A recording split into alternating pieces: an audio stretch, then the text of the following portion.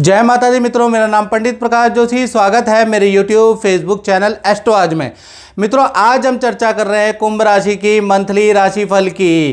कैसी होगी उनकी धन की, स्वास्थ्य की, परिवार की स्थिति, उनके दाम्पत्य जीवन की स्थिति और क्या ग्रह गोचर रंग लाएँगे अप्रैल के महीने में? यानी अप्रैल कुंभ राशि का कैसा रहेगा? हालाँकि उनके ऊपर साढ़े सात ही चल रही है। थोड़ा सा कठिनाई वाला समय चल रहा है, लेकिन अप्रैल का महीना क्या इनको राहत देगा? इसके बारे में चर्चा करेंगे और अप्रैल के महीने में चार ग्रह गोचर हो रहे हैं। पहला सूर्य का राशि परिवर्तन, बुध शुक्र का राशि परिवर्तन और मंगल का राशि परिवर्तन हो रहा है। यानी अप्रैल का महीना देखा जाए तो कुंभ राशि के लिए बहुत खास है। ग्यारह घटनाएँ, जी हाँ ग्यारह घटनाएँ कुंभ राशि के साथ में हो सकती है। अब वो ग्यारह घटना क्या है, इसके बारे में चर्चा करेंगे। सबसे पहले कुंभ राशि की कुंडली के ऊपर नज़र डाल लेते हैं। ये कुंभ राशि की कुंडली है।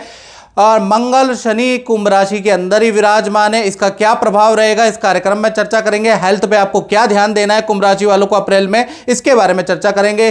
साथ ही साथ सूर्य, शुक्र और राहु, यानी तीन ग्रहों की युति आपके धन भाव में बैठी है। यानी धन के लिए ये जो महीना है, कुछ सावधानी वाला है। कुछ इन्वेस्टमेंट में आपको भाई कुंभ राशि वालों को सावधानी कर लेना। उसका क्या लाभ होगा? और बुध और गुरु। तीन ये दोनों के दोनों आपके तृतीय भाव में बैठे हो। तृतीय भाव से बृहस्पति की नवम दृष्टि आपके लक पे यानी लक आपका सातवें आसमान में रहेगा। भाग्य आपका जागृत होगा और भाग्य से बहुत सारी चीज़ें मिलेगी। इसके बारे में भी इस कार्यक्रम में चर्चा करेंगे। चलिए पहले ग्यारह घटना के बारे में चर्चा कर लेते हैं। सबसे पहले पहली घटना के बारे में बात कर लेते हैं। तो पहली घटना होगी स्वास्थ्य पे। तो स्वास्थ्य में अप्रैल के महीने में मंगल शनि की युति है, यानी मंगल और शनि दोनों ही कुंभ राशि में बैठे हुए हैं, यानी आपकी राशि में बैठे हुए हैं। तो हेल्थ पे थोड़ा सा आपको सख्ती से कदम उठाने पड़ेंगे। आपको अप्रैल के महीने में जो पेट की कॉन्स्टिपेशन की जो समस्या चल रही है, हाथ पैरों में दर्द की समस्या आपको चलेगी, जिसके लिए आप सख्ती से कदम उठाएँगे। योगा या जिम या कोई ना कोई एक्सरसाइज कोई ना कोई एक्टिविटी आप अप्रैल में 100 परसेंट ज्वाइन करने वाले हैं। साथ ही साथ कुछ कुंभ राशि वाले बुरी आदतों को कंट्रोल खान पीन को कंट्रोल करने वाले हैं, बहुत स्ट्रिक्ट डाइट फॉलो करने वाले हैं। आपका अप्रैल के अंदर पूरा फोकस हेल्थ को ठीक करने में होगा, ये अच्छी बात है। जो शनि और मंगल आपको सताएँगे ना हेल्थ में, तभी आप कुछ हेल्थ के बारे में अच्छा सोचेंगे। तो कुल मिला के अप्रैल के महीने में आप हेल्थ पे फोकस करने वाले हैं। दूसरी घटना के बारे में बात करें तो धन भाव। धन भाव में सूर्य, शुक्र और राहु तीनों ग्रहों की युति है। धन की फाइनेंस की स्थिति, कुंभ राशि की अप्रैल में दो भागों में बढ़ती है। जी हाँ पहली एक तारीख से चौदह अप्रैल तक देखा जाए तो आपके धन भाव में लज्जित दोष बन रहा है। यानी बेफालतू के खर्चे बहुत ज़्यादा बढ़ सकते हैं। और आपका ईएमआई e बाउंस हो सकती है। बैंक के चक्कर आपको लगाने पड़ सकते हैं। बैंक की कोई टेंशन आपके सामने आ सकती है। और उधार मांगने जैसी स्थिति हो जाएगी, आपका मंथली बिगड़ जो बजट है, वो बिगड़ सकता है। यानी 14 अप्रैल तक आप हैंड टू माउथ वाली स्थिति पे रहेंगे। यानी बहुत ज़्यादा धन की स्थिति खराब रहेगी। 15 तारीख से जी हाँ पंद्रह तारीख से और तीस अप्रैल के बीच में ये जो पंद्रह सोलह दिन है, इसमें आपका भाग्य सातवें आसमान पर रहेगा। तीन बड़े लाभ कहीं ना कहीं कुंभ राशि को होते हुए नज़र आ रहा है। पहला सरकारी योजना से आपको लाभ होगा या फिर पंद्रह तारीख के बाद आपके शहर में कोई लकी ड्रॉ कोई सरकारी योजना निकल रही है तो उसमें आपको भरने से लाभ होगा। लकी ड्रॉ आपका निकल सकता है, पंद्रह तारीख के बाद ऐसा योग नज़र आ रहा है, क्योंकि बृहस्पति की दृष्टि भाग्य भाव पे है।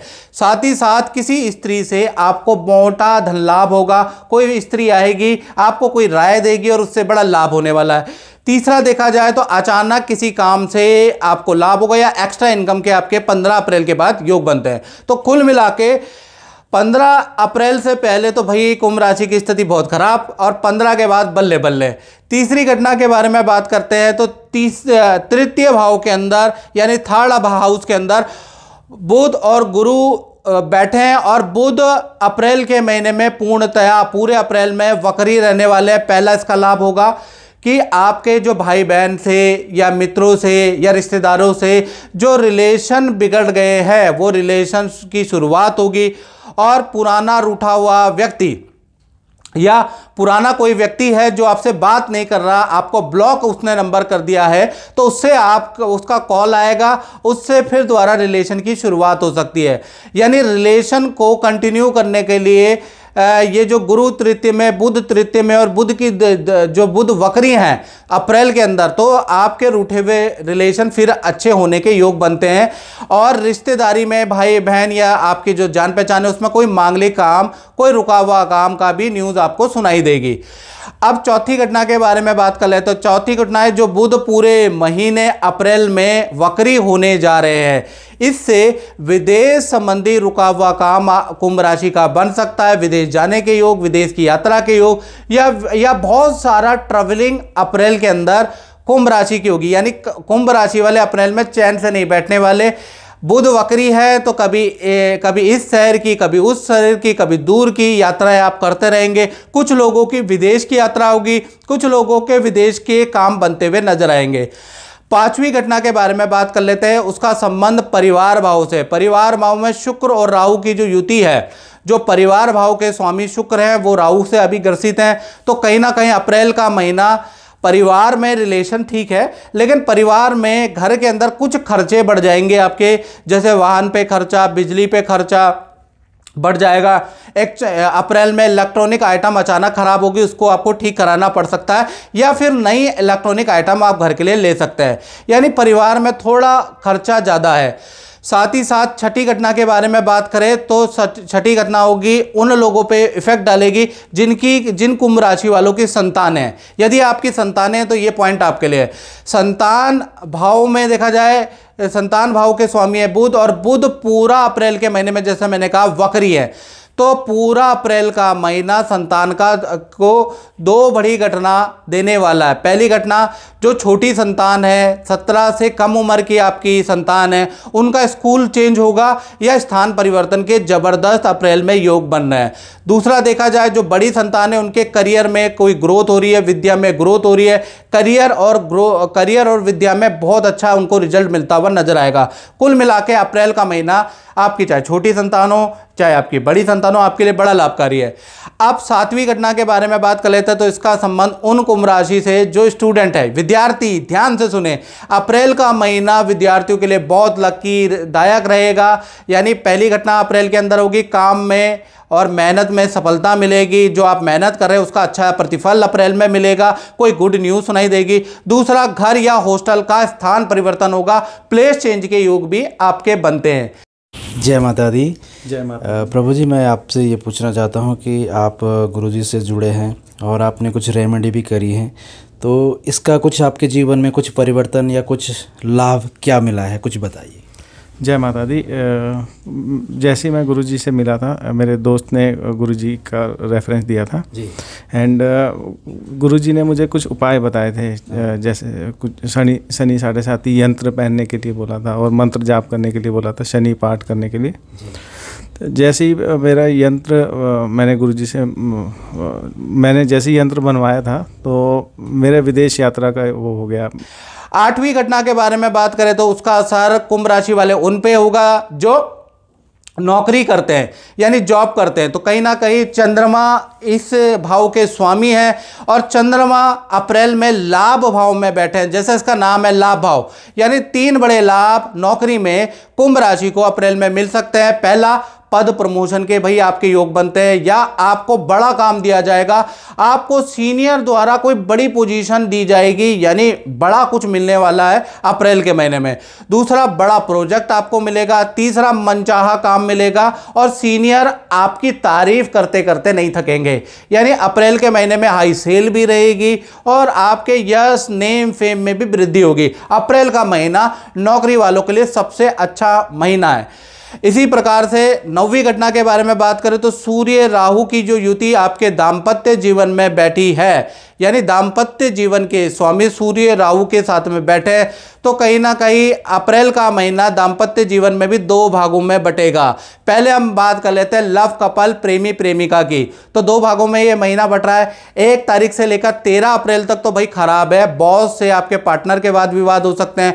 पार्टनर को इन्फेक्शन की समस्या हो सकती है, त्वचा रोग हो सकते हैं। यानी आपका पार्टनर अपने करियर से भी परेशान रहेगा, वहाँ भी अनबन रहेगी। साथ ही साथ हेल्थ से भी परेशान रहेगा तेरह अप्रैल तक। चौदह अप्रैल से सूर्य का ट्रांजिट हो जाएगा, यानी ये युति टूट जाएगी। तो चौदह तारीख से लेकर तीस अप्रैल के बीच में आपके पार्टनर को कोई बड़ी खुशखबरी मिलेगी और वो आपको सुनाने वाला है। पार्टनर के साथ में हिल स्टेशन की दूर दराज की यात्रा के योग बनते हैं। यानी चौदह के बाद आपके पार्टनर की स्थिति बहुत अच्छी है। इसी प्रकार से पति पत्नी के बारे में बात करें तो एक तारीख से लेकर और तेरह अप्रैल तक देखा जाए तो कहीं ना कहीं जो आपका पार्टनर है आ, उनके माता पिता की हेल्थ गड़बड़ रह सकती है। आपका पार्टनर अपने अपने माता पिता की हेल्थ को लेकर परेशान रह सकता है। साथ ही साथ पार्टनर का वाहन पे खर्चा होगा उनके गैजेट मोबाइल ख़राब हो सकते हैं उस पर खर्चा होगा। तो खर्चा लगा रहेगा थोड़ा टेंशन तेरह तारीख तक आपके पार्टनर को लगी रहेगी।